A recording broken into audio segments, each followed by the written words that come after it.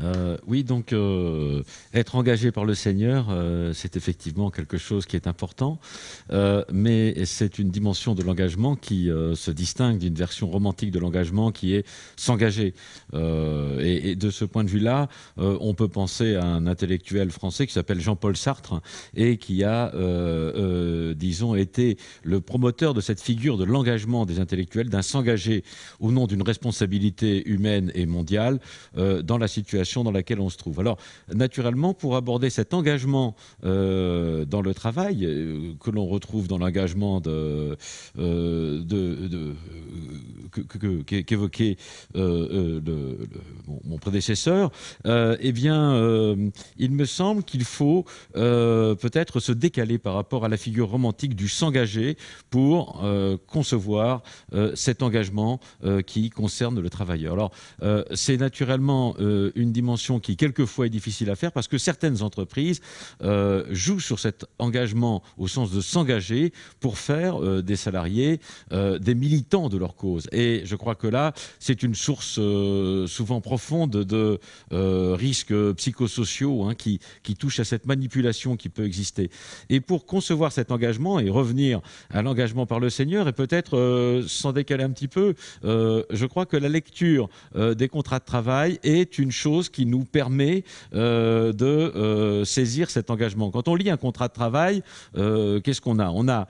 par cette convention, monsieur machin et l'entreprise machin conviennent que, et on a une phrase qui est Madame ou Monsieur X est engagé par l'entreprise Y en qualité de.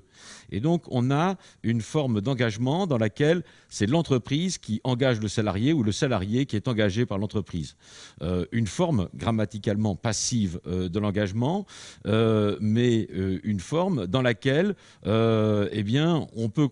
imaginer, euh, c'est du moins le juge qui nous le dit, qu'on a un lien de subordination. Alors est-ce le cas pour le, chrétien avec le Seigneur? En tout cas, le juge nous dit c'est le cas pour le salarié avec euh, son employeur. Euh, historiquement, cette dimension de subordination n'est pas la seule. On peut évoquer aussi la dépendance économique, hein, qui est un élément fort et qui exprime cette subordination sous un autre angle, c'est-à-dire sous l'angle du besoin de gagner sa vie. Hein. Euh, être engagé par une entreprise, c'est attendre aussi de pouvoir gagner sa vie, euh, et dans un sens euh, fort, il me semble, de gagner sa vie, c'est-à-dire avoir de quoi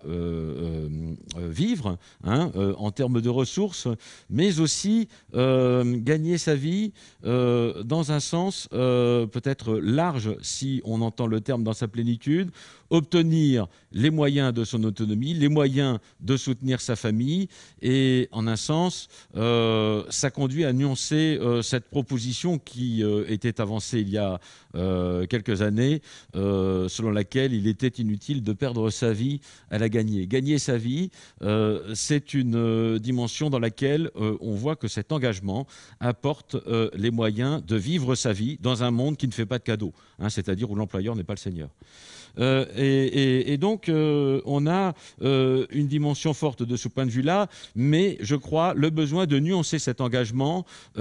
par rapport à la passivité grammaticale de l'engagement du salarié par l'entreprise. Le salarié est engagé pour travailler, il est engagé pour une activité qui est le travail et une activité qui n'est pas une obéissance passive euh, aux directives de l'employeur. Le, salarié, il est engagé à euh, répondre euh, aux imprévus, il est engagé à improviser. on retrouve là le sens de l'engagement pour l'acteur, hein, qui, est amené aussi à improviser, qui est amené à interpréter. et dans cet engagement,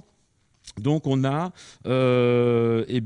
une dimension euh, qui suppose de se coordonner avec des collègues, de faire face à de l'imprévu et par là même d'être actif dans une collectivité pour arriver à mener à bien euh, une réalisation, pour arriver à la réalisation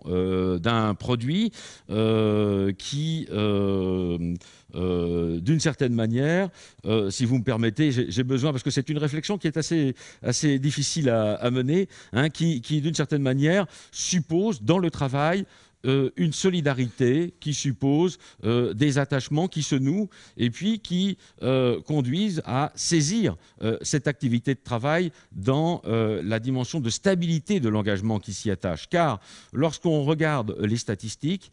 contrairement à ce que l'on pourrait attendre, les engagements que les salariés trouvent sont en général stables. On a dans la population active aujourd'hui une une part de 70% de contrats à durée indéterminée pour les emplois et une ancienneté dans les entreprises qui s'accroît avec l'âge. Et donc, euh, une situation dans laquelle euh, les contrats précaires, l'alternance entre euh, des contrats à durée déterminée et, et, le chômage concerne davantage la jeunesse, ce qui conduit à conceptualiser la précarité sous un angle qui est, à mes yeux, un peu différent de ce que l'on entend par segmentation entre précaires et non précaires. Je crois que cette précarité, c'est euh, la situation de ces jeunes qui cherchent un engagement, l'engagement dans lequel ils pourront réaliser leur carrière, et puis euh, c'est la situation de ceux qui, ayant trouvé un emploi stable, ont peur de le perdre, et ont peur de le perdre euh, de façon de plus en plus forte à mesure que l'âge passe. Donc il y a là une dimension forte en termes d'engagement, de durabilité de l'engagement, qui me paraît importante dans un engagement qui, est, euh, qui repose sur euh, une première passivité, mais en même temps une activité. Alors, par rapport à cet engagement, je crois qu'il faut ajouter une autre dimension d'engagement, c'est un s'engager dans le travail qui correspond à l'engagement syndical, hein, qui, euh, à partir de cet engagement dans le travail, euh, euh, implique une dimension de militance, une dimension d'engagement collectif pour l'amélioration des conditions de travail, qui me paraît devoir être mentionnée à ce niveau. Alors, une fois que nous avons regardé ce qui se passe du côté de salarié, regardons ce qui se passe du côté de l'entreprise. On l'a vu, euh, un salarié est engagé par une entreprise. Est-ce que ça signifie que l'entreprise s'engage à l'égard du salarié? Alors, des entreprises euh, s'engagent fréquemment. Hein. On parle souvent de responsabilité sociale des entreprises. On voit cette responsabilité sociale s'exprimer dans des codes de conduite, hein, dans, lesquels les entreprises euh, précisent des objectifs à atteindre, mais aussi des codes de conduite qui précisent explicitement hein, que euh, les objectifs fixés, par exemple, ne pas avoir recours au travail des enfants dans les pays où l'on sous-traite une activité de production, ces objectifs sont des objectifs qui sont liés à l'intérêt de l'actionnaire. Les codes de conduite, de ce point de vue-là, sont clairs. Euh, et puis, les codes de conduite rappellent que euh, pour atteindre ces objectifs, le salarié est euh, considéré comme un exécutant. Et puis, autre élément, euh, lorsque survient, euh, du fait de la conjoncture, euh, des difficultés, eh bien, ces objectifs que le Code de conduite assigne, et on l'a retrouvé avec le pacte de responsabilité que le président Hollande avait lancé, lorsque la conjoncture impose des nécessités importantes, eh bien, l'entreprise tente à sursoir à ses responsabilités et elle est amenée euh, de ce fait à, se, euh, à limiter son engagement à l'égard du salarié hein, euh, en termes de salaire, en termes d'emploi. Une situation qui est une situation historiquement, comment dire, qui a été réelle. C'est-à-dire que euh, la difficulté des entreprises à s'engager, elle se constate dès le 19e siècle, avec une situation dans laquelle les mineurs, par exemple, euh, ne sont pas engagés individuellement, mais sont engagés à partir d'un chef de marchandage qui, engagé par la mine, va faire travailler sa femme et ses enfants. C'est une situation importante qui existait à l'époque et qui se retrouve aujourd'hui hein, sous la forme, par exemple, de ces tâcherons que l'on trouve dans les industries de la viande ou dans la mécanique, qui sont des entrepreneurs intervenant avec leur personnel, avec leurs outils pour faire face à des tâches urgentes dans les entreprises. Alors, situation importante, situation qui me semble devoir être rapportée également à euh, une autre facette euh, de euh, l'activité des entreprises et puis de l'engagement des travailleurs, c'est cette situation de euh, restructuration que les entreprises ont tendance à mener en ayant cette visée euh, d'une rentabilité à travers une gestion au plus serrée des effectifs et de la masse salariale. Et de ce point de vue-là, on assiste à une forme d'engagement du côté des travailleurs que nous avons tous vu sur les écrans télévisés, qui est une forme d'engagement au sens militant du terme, comme je l'avais mentionné pour le, militantisme syndical et qui conduit à une forme d'engagement au service d'une cause qui est la défense de l'emploi, la défense de l'entreprise, comme on l'a vu ici et là dans l'actualité récente. Et de ce point de vue, on a des formes d'engagement qui sont des formes de mobilisation pouvant se traduire par des actions plus ou moins désespérées, hein, dont les médias se nourrissent parfois.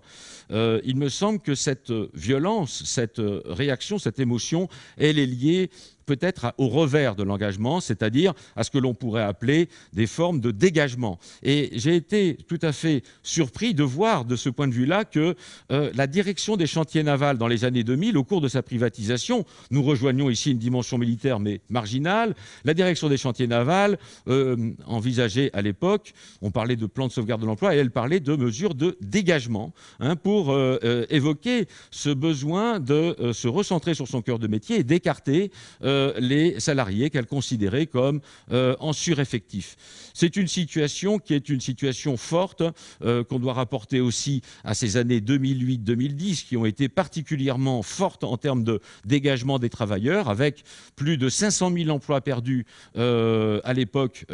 par l'économie française. Donc une situation forte et violente et, dans laquelle on peut se demander si ce dégagisme économique hein, que l'on a subi en France à l'époque et que l'on subit encore parfois aujourd'hui, eh bien, ce dégagisme économique n'est pas un des éléments explicatifs d'un dégagisme politique et peut-être d'une forme de désengagement que l'on constate au niveau de l'abstention aux élections récentes. Voilà, donc euh, un panorama, il me semble, de cet engagement, un engagement salarié qui est un engagement du salarié par une entreprise, et de ce point de vue-là, moins radical que le s'engager du militaire euh, au service de la nation, que le s'engager de l'intellectuel au service d'une cause, que la grâce euh, que